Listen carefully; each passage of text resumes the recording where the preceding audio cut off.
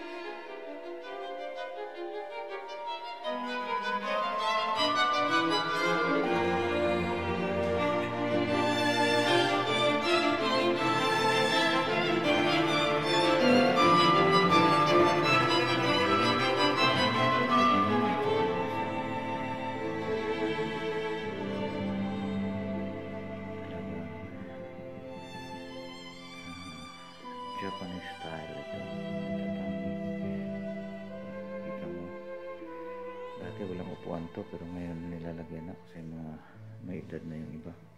Ayan. Titignan mo sa labas. Everything is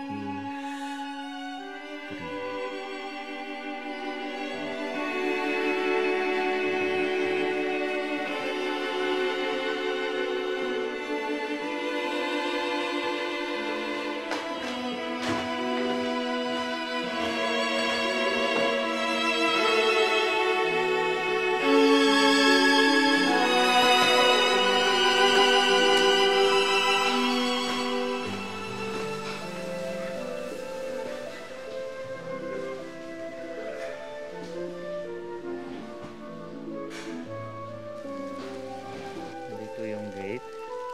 Ng SVD Missionary. Ayan.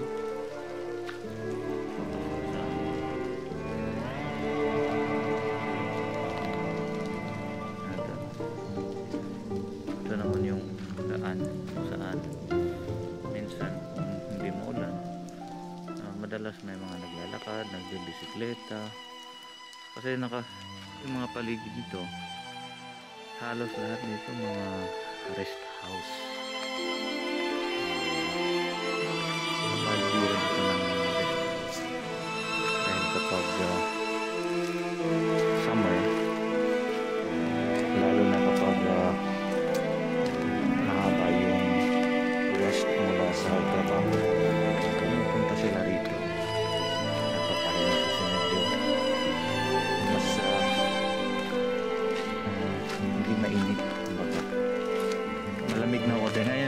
Temperature dito ngayon is 17 ah, degrees Celsius. Ah, dahil maulan-ulan, medyo malamig na. Pero, um, kala ko nga mainit eh. Hindi na ako nagdala ng jacket. Lahat sila nagdala ng jacket. Kayan tayo para naman. Ito yung main road papuntang highway dito. Yan. It- Ito naman yung papunta sa mga rest houses. And itong kalsada na yan, papunta yan sa may lake. Merong lake dito. Ayan. So, ganyan yung ayos. Maraming mushroom dito eh. Pero hindi ko alam kung makakain ba to.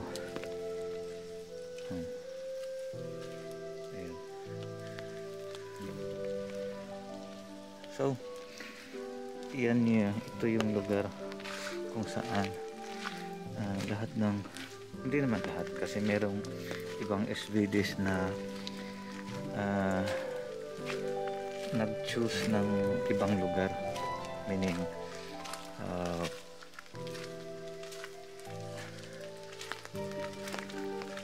pumunta sila sa ibang lugar para mag-retreat maliban dito. May option pero recommended talaga na pupunta dito sa retreat house natin para sasali. Dahil minsan ah, yung iba talaga hindi na hindi hindi sumasali dahil busy. Ah, maraming dahilan kaya hindi na sila talaga nag-a-attend